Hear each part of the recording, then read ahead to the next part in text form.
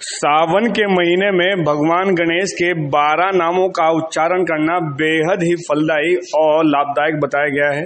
सावन के महीने में शुक्ल पक्ष की चतुर्थी को आने वाली गणेश चतुर्थी के दिन यदि भगवान गणेश की पूजा पाठ की जाए और साथ ही उनके बारह नामों का उच्चारण किया जाए तो व्यक्ति के रुके हुए सभी कार्य पूरे हो जाते हैं और उसे हर काम में सफलता प्राप्त होती है। भगवान गणेश विद्या, बुद्धि, रिद्धि, सिद्धि और नवनिधि के दाता हैं, जो व्यक्ति को बुद्धि और विद्या का दान देते हैं।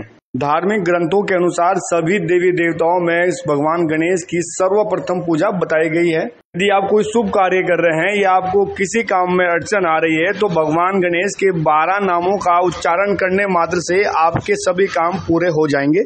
भगवान गणेश के बारह नामों को लेकर क्या कहते हैं, हरिद्वार के विद्वान ज्योतिषी पंडित श्रीधर शास्त्री सुनिए। गणेश चतुर्थी जैसा कि श्रावण मास में आ रही है वैसे ही प्रत्येक वर्ष महीने में आती है चतुर्थी तिथि, पर जो गणेश चतुर्थी का विशेष महत्व होता है, और सभी देवताओं में जिनकी प्रथम पूजा गणेश जी की होती है, वे विद्या और बुद्धि के दाता भी हैं, और गणेश जी महाराज जी की कृपा किस प्रकार से हमारे ऊपर बनी रहे तो उसका हम क्या उपाय कर सकते हैं? तो जैसा कि श्रावण मास की जो चतुर्थी है, गणेश चतुर्थी है, उसका तो विशेष ही महत्व है।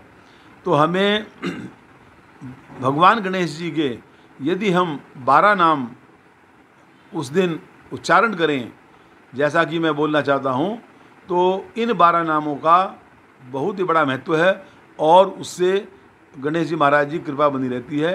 वो नाम क्या हैं गणेश जी के? सुमुखस्य दंत कपिलो गज कर्णक लंबोदरस्य विक्टो विघ्ननाशो विनायक।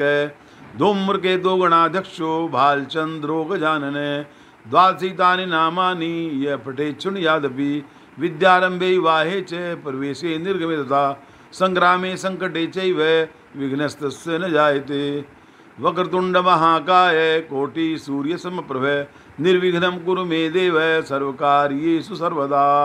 इन नामों का यदि हम उच्चारण करते हैं तो हर एक कार्य में सफलता मिलती है, बताया ना? संग्राम में संकट जीव तो संग्राम में, संकट में और कोई भी कार्य हमारा रुका हुआ है, गणेश जी महाराज की कृपा से वो बन जाता है और जब भी हम कोई यात्रा करते हैं या हमें कहीं प्रस्थान करना है, शुभ काम के लिए जाना है तो गणेश जी का, के बारह नामों का स्मरण करें तो उससे हमें सफलता अवश्य ही प्राप्त होगी।